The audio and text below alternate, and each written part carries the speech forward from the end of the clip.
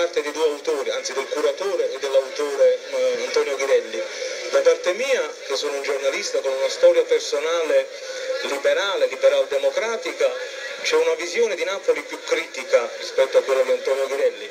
Antonio che invece viene da una storia socialista, diciamo guarda alla rinascita di Napoli con un occhio più benevolo e quindi eh, il libro non è assolutamente univoco nella, nella sua, mh, nelle sue conclusioni, ma da parte del curatore e da parte dell'autore c'è un dibattito serrato, leale, onesto e poi il lettore si farà la sua idea circa la Napoli di Bassolino, se è una Napoli veramente rinnovata o se invece è una Napoli ancora tutta in fieri, ancora tutta da fare. È cambiata realmente la Napoli di Bassolino?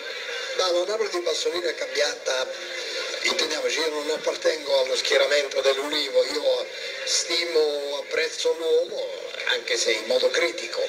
La Napoli di Bassolino ha avuto due, due cambiamenti fondamentali. Uno è stata la trasparenza della gestione e l'altra è stata eh, diciamo, il ritrovamento dell'orgoglio di essere napoletani. Ecco, questo è l'aspetto positivo.